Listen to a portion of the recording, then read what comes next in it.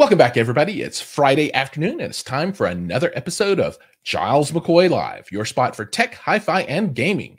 Today is episode 312. That's right, season three, episode 12. And joining us this afternoon is Terry Medalen from Primare. Terry, welcome. How are you? Hey, thanks for having me. I, I appreciate it. I'm, I'm well. And yourself? Oh, uh, you know, it's a it's a beautiful day. I've got a great guest. It could be so much worse. So you know, I think things are good. You know, this Great. is I, I, love this stuff. So I'm I'm in a, a really good spot. So you know, today we're going to talk about Primare, mm-hmm. and uh, you are Mr. Primare Marketing, right? Yeah, although although it should be understand understood that we're here in Scandinavia and particularly in Sweden, so there's a very flat management style here. So it really is. You'll notice I put marketing in a lowercase letter to start. sure. Um, uh, we have a small team here in Malmö, Sweden, which is just across the Øresund Sound from Copenhagen. Um, and we all contribute uh, based on our strengths uh, to the running of the company. Um, and so, yeah, I get involved with a lot of different things, but marketing is my focus. Great. You know, uh, to kick off episodes, we typically talk a little bit about who you are as the guest and why people should care, and then we break into, uh, you know, the the company or the brand and and talk a little bit about that. So maybe you can tell us a little bit about how you became associated with Primare, how how that mm-hmm. all happened, because you sound American, right? Um, but you're not in it. So, you know, maybe there's some interesting story there. And then a little bit about who Primare is and, and what what they do. Great. Well, I'll try to be brief about both, but particularly the first part of this. um, uh, for many, many, uh, you're right. Uh, I was born in North Dakota in the United States to Norwegian bachelor farmer parents, um, hence my last name, Medalen, as Norwegian. Uh, but for many, many years, well, actually for 50 years, I've been in the audio industry. And for a number of those was with Sumiko, the distribution company in the United States and that was in part responsible for bringing Primare into their distribution arm. And so that was almost 25 years ago now. And so, in one role or another, I've been working with Primare, either with Sumiko or as a consultant. And then, about six years ago, I moved over to Sweden and uh, am working now with Primare full time.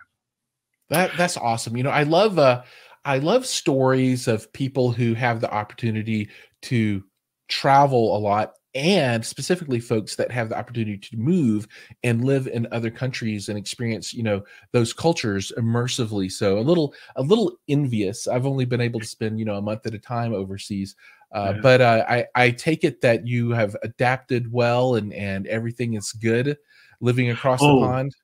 I love it here. Um, yeah. i love it here. And and um, uh, and so yeah I, I i love the work. I love the community uh, I love the area. Well, and, and, partly because this area, I don't know if you're familiar with it, but it's often referred to as the Øresund, which is this region of southern Sweden and then the island on which Copenhagen is, and then the adjoining island in, in Denmark, where there is this concentration of electronic manufacturers um, mm-hmm. in the audio field is extraordinary. I mean, the dynamic speaker was invented in Denmark. We've got B&O, we've got DALI, we've got Dynaudio, we've got Gato, we've got Audio Vector, we've got all of these different companies are kind of based in and around this general area.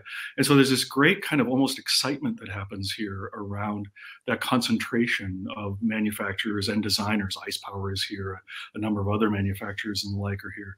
And in fact, Malmö is kind of a, a secret weapon in that in 2014, I think it was, it was named the fourth most innovative city in the world. Um, wow. And partly that was due to the work of Sony Ericsson here and all the patents that they provided. And as a result of that, there's been an energy in the development of all kinds of technologies. We're the home of non-dairy milks, for example, whether it's oat milk or or potato milk or pea milk. Uh, but also, it's become a huge gaming center, a huge game design center. Um, and in fact, it's predicted that with the uh, creation of the Malmo University in kind of adjacent to the ancient university, Lund University, which is only 10 minutes away, that it was the university was designed as a startup incubator.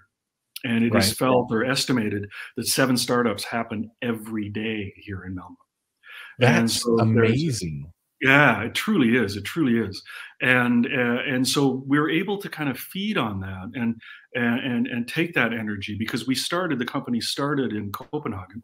Uh, Bo Christensen, the famous industrial designer in the audio world, was the founder um, and he tapped an amazing engineer by the name of Bent Nielsen, who's our engineer to this day. So he's been with the company now for 36 years.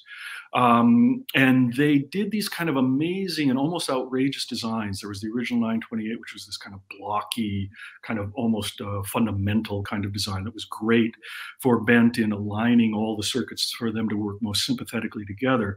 Then Bo designed the 200 series, which some people may remember as being this thing that looks like a spaceship has landed, a mm-hmm. stainless steel spaceship has landed on your on your audio cabinet.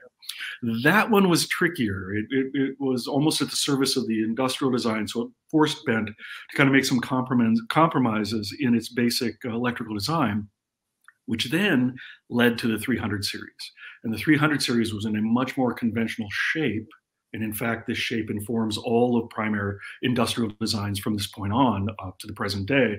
And that allowed Bent to exercise his kind of uncanny ability uh, to make all of these kind of component circuits that form an entire audio component to work best together. And that's really important for us because we don't have a dedicated full time design and engineering team outside of Bent. What we've done over the years is tapped these really amazing specialist designers to contribute basic component circuits. So, if that's, say, a power supply or an amplifier module or a digital signal processing or digital control. For example, we tapped for our first apps the guy who was designed all the Sony Ericsson music streaming applications. In fact, he just kind of showed up at our door one day. And so we're able to take all of these specialist designers, admittedly, um, not have to pay a full time compensation package, sure. get their best work, and then Bent somehow is able to put it together in a way that's simply that whole cliche of the sum being greater than its parts in a right. way that's just kind of magic. Um, and and we can even I, will try to be brief in this story. Um, Simon Olger, the general manager, and I tend to do all of the listening, the voicing of the products. And our sounds, our sound system, our demo system is at the opposite end of the building from the tech system. And we've gotten in the habit, and it's almost a bit of a joke, for us to open the door of the sound room and yell, oh bent. And he has he's never failed to come running um, kind of okay what'd you hear?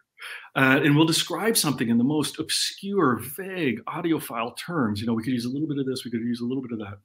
It and, was just a little too airy and yellow well yeah oh, exactly. stupid stuff like that and bent will he, he will respond in two ways he will say i'll think about it which means probably he'll have something tomorrow or he will say give me 10 minutes and usually five minutes later, he will set something down in the demo room. He won't tell us what he's done. Uh, and we have to listen to it. And almost inevitably, he has somehow been able to transform our vague notions into some reality that oddly enough fits exactly what we were describing him, exactly what we wanted him to do. Um, and so that's where we're at now with the current product line, where this guy who's been doing this for so long uh, designed something like the new A35.8 amplifier, which is just, uh, I know I, I, I know it's going to sound like I'm a, a fictional, disingenuous comment. It's amazing and the weird thing is, is that it keeps amazing us. Simon and I continue to listen to it. We put it in different shows. We just were at Axpona, um, mm-hmm. and we did a show where we were driving these amazing Alta audio speakers, and this eight-channel amplifier. We can bridge all four pairs and then bi-amplify a speaker that you can bi-wire to get just great results. And so these Alta audios with the A35.8, we're just singing uh, in ways that I, when we first proposed doing this amplifier, I could have never imagined. Uh, um, it just does this thing. It locks on to speakers that really it should have, if you judge by price, no business driving to the level that it's uh, able to make them sound. So, so it, it, he does this. He amazes us all the time with this kind of stuff. And and the worst part is that he's Danish. Um, that's the worst part. Everyone, that's the take home message. He's Danish. Oh my God. I have to back up on this. One of the reasons why I think they hired me uh, to come in and do marketing is that I could see the basic philosophies of the company in a way that they could not that they it mm-hmm. was so entrenched it was so ingrained it was so culturally ingrained and and we can talk about concepts like lagom uh, that informs all of Swedish society, that then in turn informs our product. This idea of everything in balance and proportion, not too much, not too little, uh, just right. Everything has to be just right.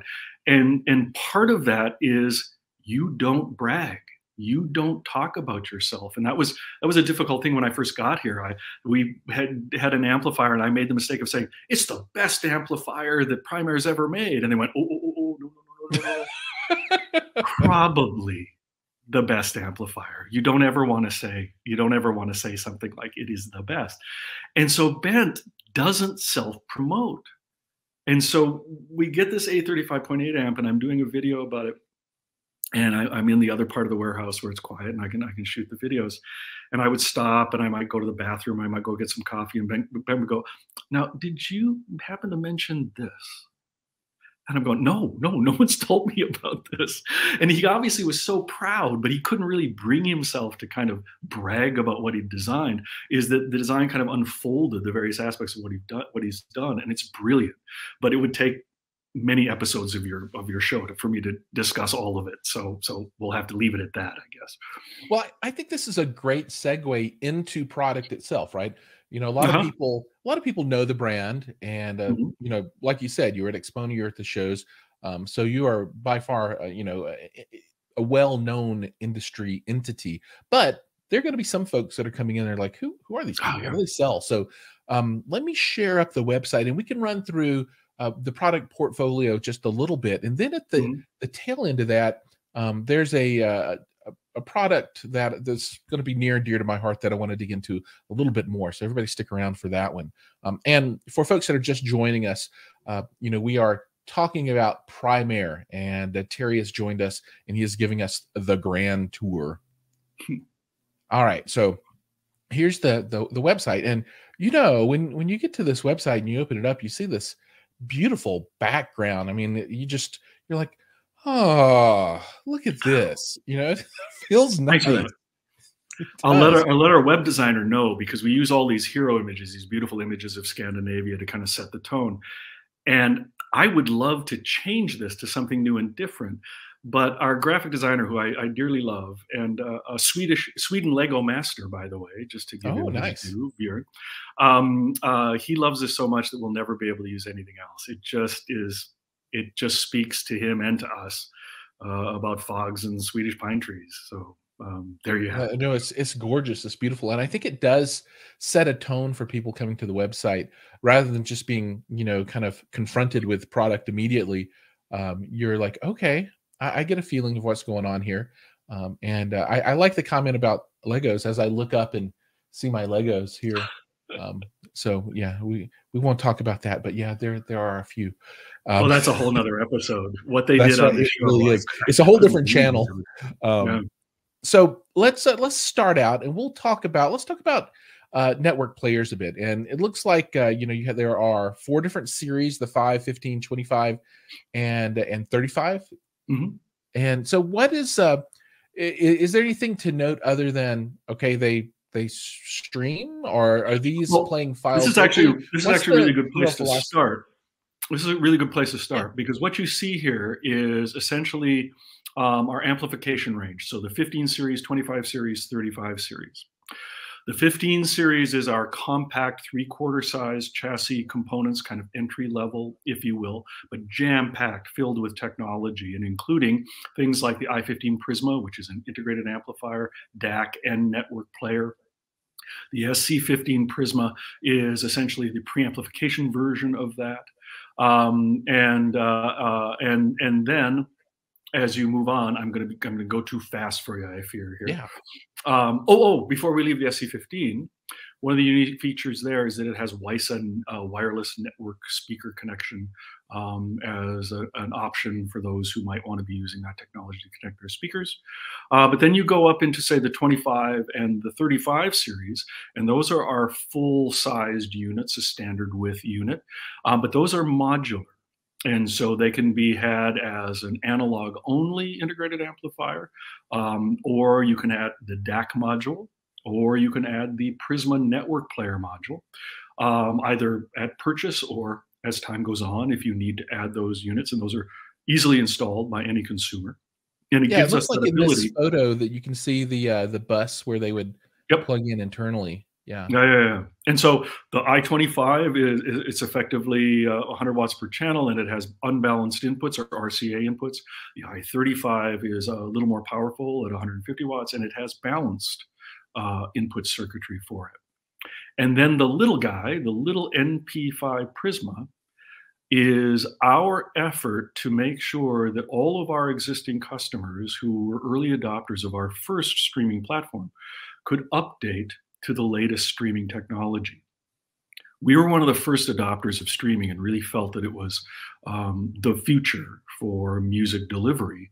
And as a result, we designed it in some cases well before any of the streaming platforms we now take for granted uh, were available. So uh, Spotify had just started, uh, Tidal had yet to exist, Qobuz had yet to exist.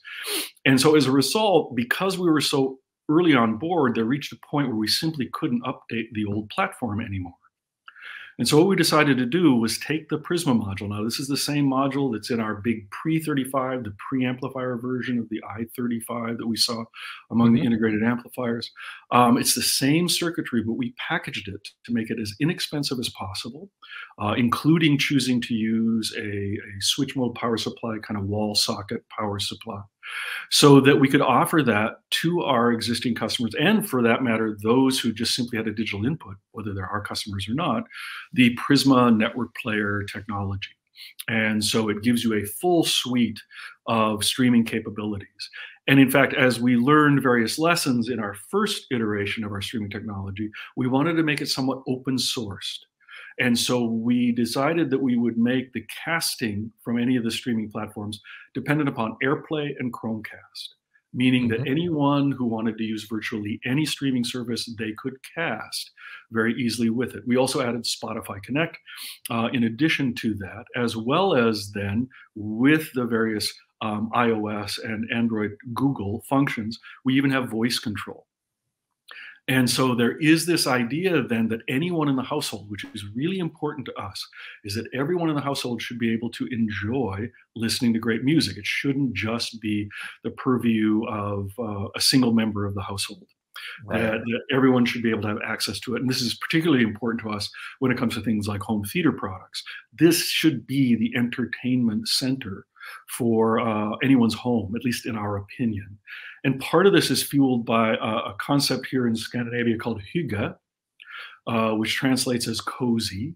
And it is this idea that the most satisfying experience you can have is sharing food and drink, music and movies with family and friends. And, and, and this is really important to the point where there's even something on Friday called Fredagsmys, which means Friday cuddle. Um, I think we're going to start having Fredagsmys here. Oh, you should. It's the it's the greatest thing because Friday after work, everyone gets together. They make something simple to eat in front of the television and watch a movie or a TV program or listen to music together, and it's a tradition. In fact, um, uh, as an example of why they wanted me to do marketing, I came in one day having just discovered this whole idea of Fredagsmys, and I was describing it to Simon, the managing, the general manager, who's Dutch, and he said, What are you talking about? You know, first it's Hygge, then it's Lagom, now there's this Fredagsmys. What are you talking about? And I described it to him. And on his face, there began this dawning understanding. And he said, We do that. I do that. I didn't even know there was a name for it. And yet, everyone, not everyone, but most people here in Sweden do that. Get a big bag of candy, lots of potato chips, usually tacos, and you sit and you enjoy this system. Um, and there is, and I'm, I'm going on at length and I got to be careful, but there is a guy, I don't know if you know him, Daniel Levitin, who wrote the book, Your Brain on Music. Uh huh. Oh, heavily recommended. But Daniel did a research product for Apple uh, Music and Sonos, where he put in cameras in 150 households and did exit and en- entrance and exit interviews to find out the effect of having a sound system to play music out loud would have on the household.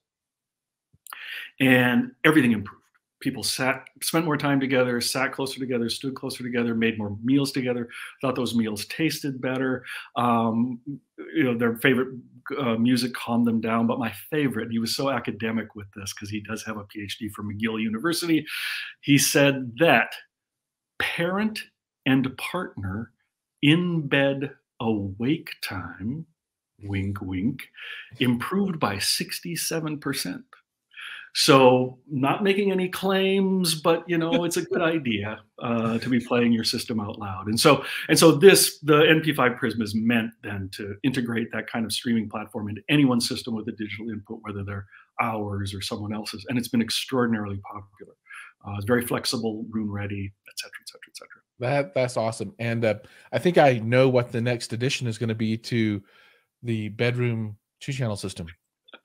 It can't hurt. I'm not it, making any guarantees, but it can't hurt. It can't I, think uh, you know some some primary technology is is going to be a prime addition.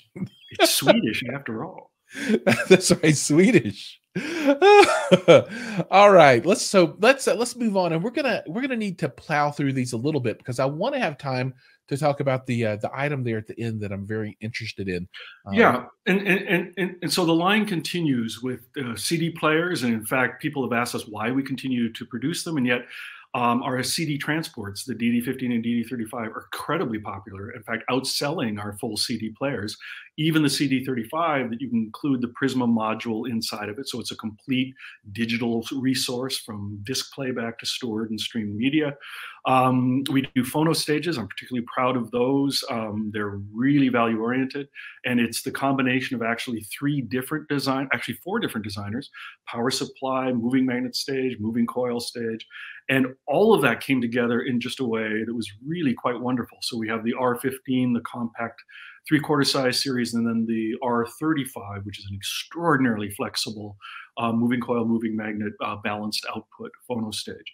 Um, and those are really good. In fact, numbers of reviewers are using them for their cartridge reviews, given that it's a great sounding, relatively reasonably priced phono stage that they can do uh, cartridge reviews and then not be accused of using some super high end product and yet still getting great results. And so, and, and it's beautiful. I mean, it's just gorgeous. Well, and that that that center button. So you see the Primare logo in the center. So for any of our basic amplifiers as well as our phono stages, that's the standby button right there in the middle. Mm-hmm. You can't see it. In fact, very often I have to. I get questions in where I can't turn on my phono stage. I go, okay, press that center button there, and it will take it out of standby, it will light up, it will produce sound. And then by pressing it in and holding it for five seconds, you can actually take it out of auto standby. A lot of our equipment has auto standby features built into it so that it does reduce the, the impact on, on power going into it. Um, and so all of that, all of those are lovely. And that's a hallmark also of our product. You see the look and feel of Scandinavia.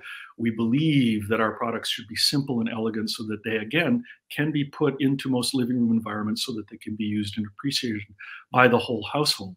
So we take everything into consideration, this kind of idea of log um, everything in balance and proportion. Even the fact that you can't quite see it here, we only use three feet uh, because four feet is one too many, two feet is too few, three is just right. It's right. Um, and and so with that in mind, we do the phono stages, and then obviously what we're, or maybe not so obviously, what we're returning to is uh, the home cinema uh, first, with the introduction of the A35.88 channel amplifier that we've talked about, uh, that is ability to configure it into a variety of settings. That A35.8 with our A35.2 can virtually provide any multi-channel system configuration you might have all the way from 5.1, 7.1, 5.1.2, 7.1.4, et cetera, et cetera, et cetera, you all the way up to a full Auro 3D system. And so the flexibility that Bent designed into this is remarkable, but then the internal design is intense. Um, I don't know if you can go to the in, internal picture here. There you go. You can kind of see it there, uh, where that little red light was lit up. There is this sense that what Bent did was take these, you can see the module there, I'm pointing to it as if you can see me point where, yeah, exactly right there. That's actually a Hypex module. And, and we determined that we wouldn't use our proprietary UFPD2 uh, in part because when you're doing class D design, the math, the science is so precise that there really is only so many things you can do. So whether it's Hypex, whether it's Purifi, whether it's Pascal, whether it's Ice Power, everyone is going obviously down a particular path. And Hypex has been doing it for a long time. And these Ncore modules were so good and are produced in such quantities, much greater quantities than we can produce our own proprietary design, in order to keep our price down, in order to make to make to reach our goal of providing the best possible experience for the greatest number of people. We never want to make our products inaccessible. We know they're not cheap, but we want to make sure that for the quality we want to provide, that they're as reasonably priced as possible. And so Bent started working with these Hypex modules and realized that he could situate them inside these heatsink modules so that there's a pair of these modules inside each of these heat sinks. Now that heatsink serves to isolate the amplifier module from the power supply. So any noise that might be generated by this extraordinarily powerful power supply, 1500 watts is what it can deliver, that that noise is isolated. And then the noise that the amplifier module might uh, uh, generate is isolated from the input and output stage. And so as you look at that input output stage, it's incredibly short signal path. In fact, Bent designed the circuit board so that it's an uninterrupted ribbon of circuit board that goes from the input to the amp module through the heatsink so that in it and of itself is, is, is, is isolated in that regard, and then back out to the output stage. So the, not that this is going to have any relation, but that's the length of the circuit. Right. That, that, that is a, massive power supply. I mean that Huge. that almost can could could consume a, uh, 15 amp circuit here in the U.S. Almost. Well, in, in, fact, we had to put an IEC 19 socket on it, uh, so a 20 amp cord is uh, mm-hmm. necessary mm-hmm. to connect to this thing. And the great thing is because of the efficiency of Class D, we can get um, effectively 1500 watts of power out of this unit. So in that system we described for Axpona, um, there's a limit to full power range just in the way protection circuit works.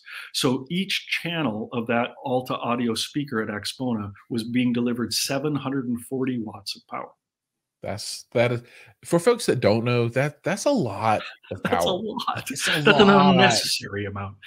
That's an or, but the great thing about it too is that the the power supply is adaptive, so it delivers the power as the channels need it. So there are instances where, say, your height speakers are doing nothing, but your front, left, center, and rights are being asked to deliver a massive soundtrack. Well, that power is diverted there uh, to within its limits. So it has this ability to to really produce not only amazing sound, but just set up exactly the way you might need it. Again, in conjunction uh, on, at times with our A35.2 stereo amplifier. And and and and so it's it's it's as you can tell, I'm a little bit excited about this thing. Um, it turned out better than we could have possibly hoped for, um, uh, and has has been uh, well reviewed and well received. Uh, even without the benefit of our uh, uh, surround sound processor preamplifier, which we're going to be delivering in the fall. And which segues. That is a great segue because this is what I really want to talk about. I was hoping you would. The SPA 25 Prisma uh, multi-channel integrated amplifier, perhaps. Uh, this so you know I love two channel, but multi-channel home theater is uh, is a big deal for me. It's really close to my heart and uh, I was really happy to see this product product announced um, because it it looks like a winner to me. I mean, it's just it's it's beautiful uh, and, and it does everything that you need it to do, and I hope that it sounds as good as it looks. Just it, it, yeah, take go go ahead and tell us about it. But this this is just outstanding. Well, I, I thanks for those kind words, and, and I really appreciate that. Uh, I can't tell you how much because this has been a difficult product to design, in part because it was designed during the pandemic. Mm-hmm. Um, and it was designed. Uh, it, the design process began just before the AKM chip fire, the factory fire that destroyed the AKM chip factory. This was filled with AKM chips when it was first designed, which meant that we had to switch over to ESS chips, which produce more heat. Um, uh, uh, and so we had to redesign the um, um, um uh, the heat sinking and the heat dissipation aspects of the unit. Um, there are all kinds of things. I won't go through the trouble of it, but what has come out, the result of it, um, uh, I really, really love. And I, and I say this in part because it might be important to know, or might be interesting to know, that I have a parallel career as a film teacher and video producer. um, really? specialty in film sound and have worked with a lot. I've actually worked for and with Dolby for a while and, and interviewed and worked with dozens of, of Academy Award winning sound designers and like. And I know what goes into creating a surround sound movie soundtrack.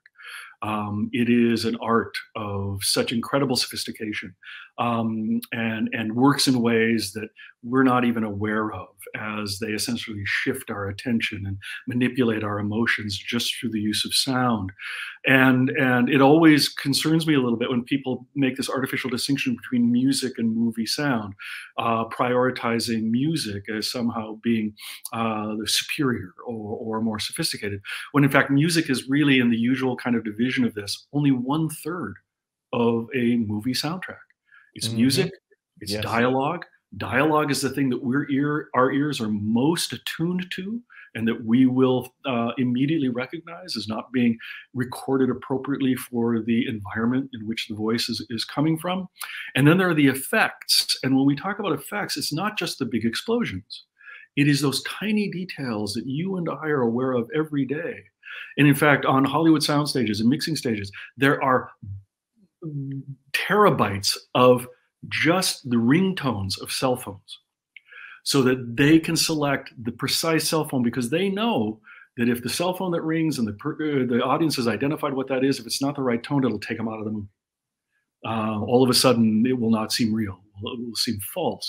And so all of this is done to create this amazing fabric that we then enter into that is this incredible experience. And so this product really exemplifies our desire in our Primare practical design approach to pack in as much as we can with the highest level of performance so that uh, no matter what you want to look at or listen to, you'll be able to have that with a, a, a, as good quality as we possibly can provide.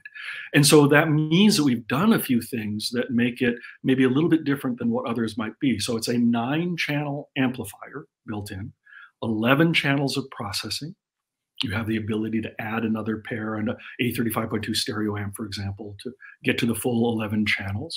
Right. Um, uh, we also then, with the same kind of power supply that we're using in A35.8, it allocates, it's adaptive. So it allocates its power delivery to the various channels. So while this is rated at 90 watts, nine channels driven, at any point, if a channel demands it, it can be it can deliver up to 145 watts. So here again, to use the example I've already used, left, center, right is playing this massive soundtrack, not much happening in your upper speakers. The power that's being delivered to the upper speakers is only sufficient to do that job. Any additional power is being sent to your left, center, and right speakers. And then additionally, kind of because of how well I think uh, bridging and biamping our stereo amps have been, you're able to biamp with this integrated amplifier the right. left and right speakers. And so at that point, you go to um, uh, uh, uh effectively uh, 290 uh, watts per left and right channel um, in a biamp mode. And so it really provides that capability then for music and movies. We designed this for music and movies. Uh, for whatever you want to listen to, whatever you want to experience, will hopefully deliver the best possible performance. Now we've also put in Dirac so that you can do the the amazingly sophisticated um, uh, uh, surround sound processing, uh, DSP processing that they provide.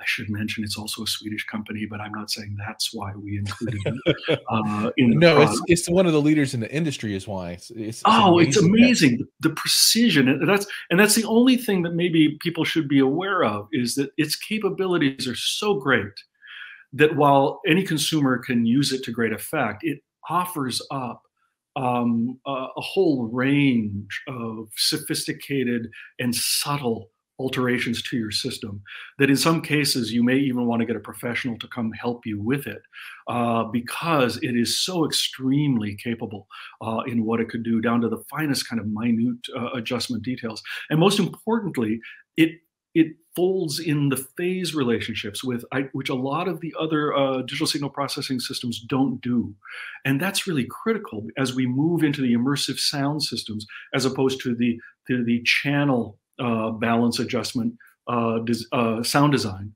that happens in movies. And so I remember the transition when when uh, Allen showed me um, Atmos for the first time. It wasn't called Atmos yet. And we were talking about how you had to adjust the output of the different various channels to be able to play sounds in various locations in the sound field. And when he said, all we need to do now is point, and he just pointed to where he wanted the sound to come from, and it came from that spot. Right. Uh, it came from just up there. Oh, just up there. Um, and it was remarkable what we can do now, or what they can do now uh, in the production of it, and then we can do in the reproduction of it, that that phase relationship that Dirac is able to provide is, is critical to get that last little bit of, of subtle differentiation among the various channels. Now, when is the uh, this this product is still not yet released? Oh, it's correct? just released. I'm so happy we're talking about it now. Okay. Oh, yeah, so it, it is out there. You can purchase this now. Yep. That's yep. outstanding. Yeah, and you know the and and this this is a rather reasonable price too. Um, that I'm glad you think so because we worked really hard um, uh, to again try to make it accessible. We want this to be again our goal is to provide the best possible experience for the greatest number of people, and so there's always that balance. Again, Lagom. Um, uh, we very carefully judge what it is that we put into the various products, which kind of informs our, our Primare practical design approach. We put everything into balance. How much will this cost not only in real terms like in retail price but how much will it cost in future maintenance and management? Um, does it really provide a substantial improvement in performance that warrants its inclusion in the product? Or is it included simply for and i'm going to say a horrible word marketing purposes? Right. when in actual fact it may not have really the kind of use value that a customer might expect uh, as they look down a features list.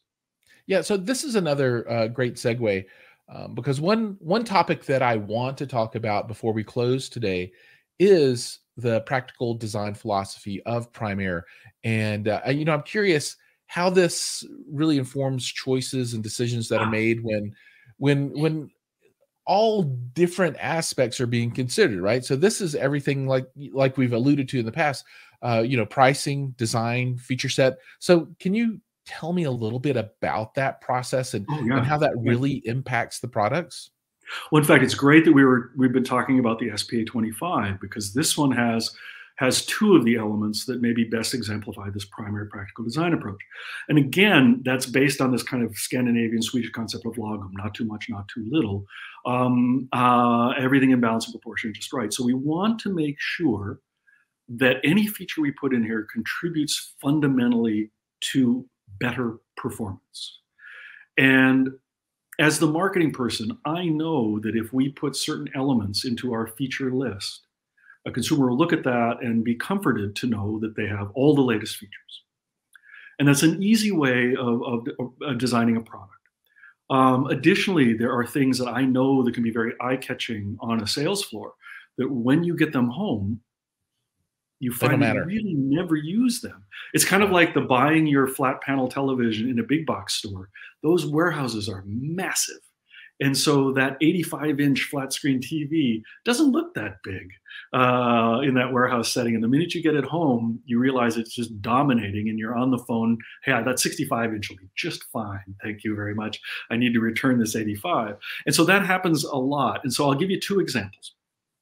One is the front display and the other is um, video switching, video resolution specifications. Um, and so I'll do which I should do first, but let's let's start out with the display. This will be somewhat similar. Yeah, we people can see that people see here now. Yeah, and so and so you can see it's relatively small. It doesn't dominate the appearance of the product, and it's meant to provide or continue that elegant, simple uh, design approach that we have become known for. Now, we've been doing OLED displays. We were one of the first actually to incorporate OLED displays. And we have examined the idea of having a large mm, color touchscreen display. In part because when we started 36 years ago, we included remote control as a necessary feature for the best possible experience when listening to your system. Now, at that point, remote control was considered evil in the worlds of high-end audio in part because you had to inject that remote control system into the signal path And people would go to the length, including we did, uh, to put motorized volume pots with discrete resistors at each volume setting or at each attenuation setting. And but knowing that being able to control that volume from the listening position was the best spot. So we believe in having this level of control, but from the listening position. And so we begin to examine these large scale touchscreen displays. We realize, well, wait, we don't want to go to the unit to touch. We don't want to have to be able to kind of kneel down in front of the unit to touch these controls. We want to do it from the palm of your hand. We want to do it from the listening position. And oddly enough, I happen to have one of these devices here. We live in a world filled with amazing displays in the palm of your hand from which you can do this control. And so that made no sense to us to have the controls on the front panel, let alone no matter how big the display is, you're still not going to see the relevant information you want to see better from two to three meters away as you can absolutely your hand. Yeah, absolutely. So with that in mind, we also recognize that by not doing that, we could avoid the cost we would have to be reflected into the retail price. We avoided the long-term maintenance because these things require um, uh, uh, firmware updates to make sure that they accommodate the input signal that's coming in from the various sources.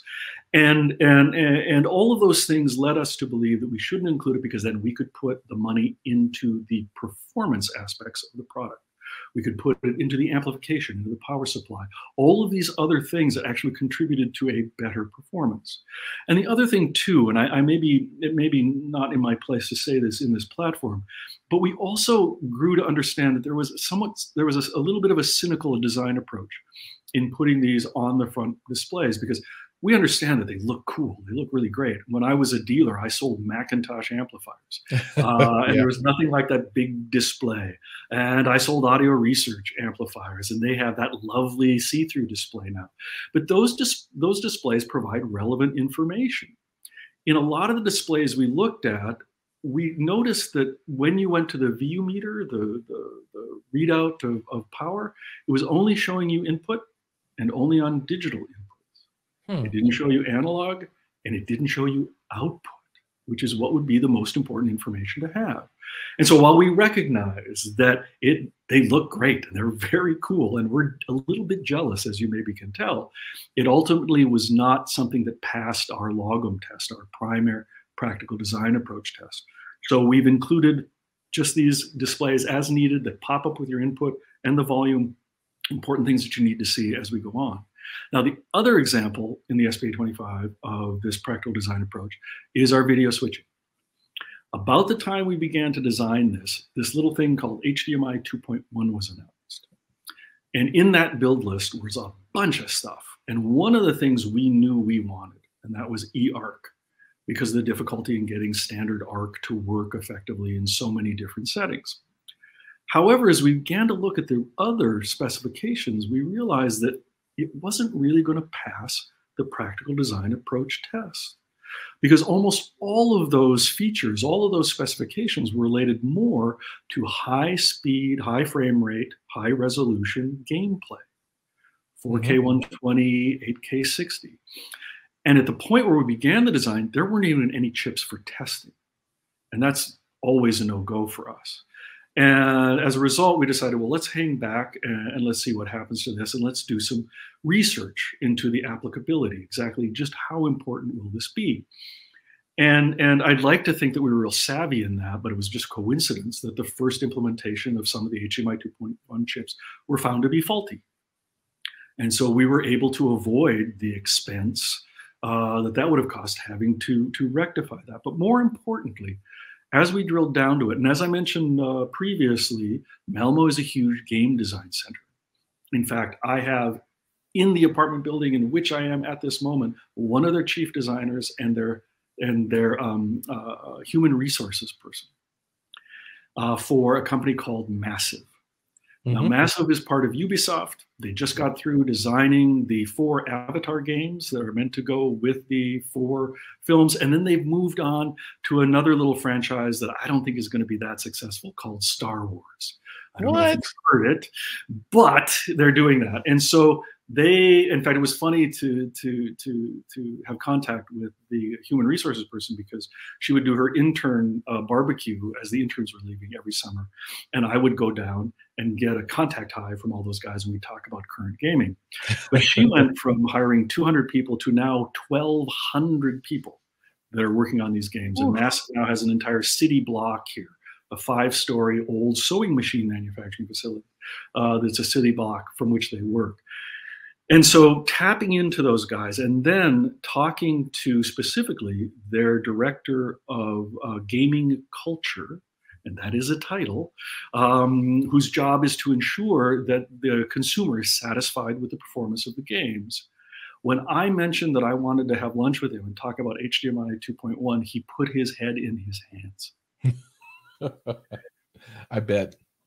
Well, and, and the thing is, is that an HDMI is really good at this in that promoting advanced video culture, but oftentimes a little bit in advance of when it is actually matured and and and, and truly available.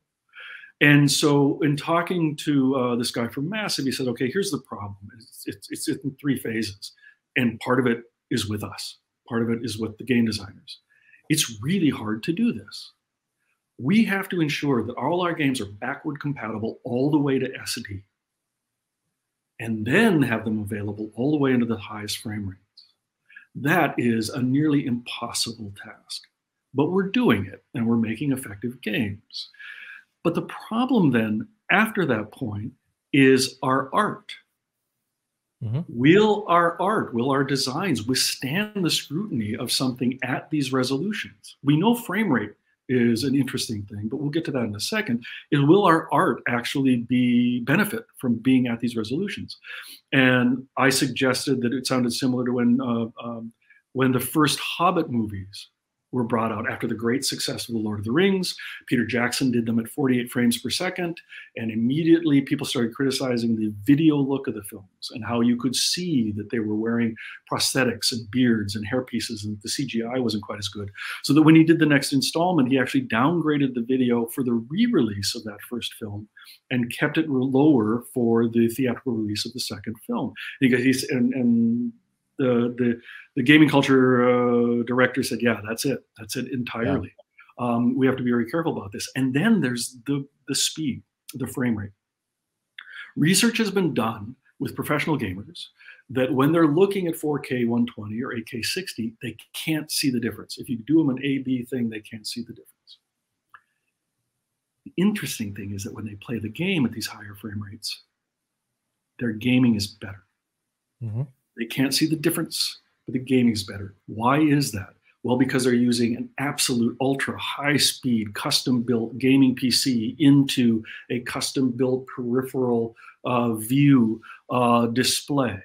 And so the next thing that the gaming uh, culture director talked about was where you're putting these and how they're being used, how these games are being used most of the consoles can't consistently do this high level of resolution and high frame rate. And you really need to do it in a gaming PC tied directly to a monitor. And more importantly, he said, what you're talking about is a party game, having it in a surround sound system. If anyone's doing this high frame rate, high speed gaming, it's going to be with headphones, headphones. microphone, in a PvP, a player versus player scenario.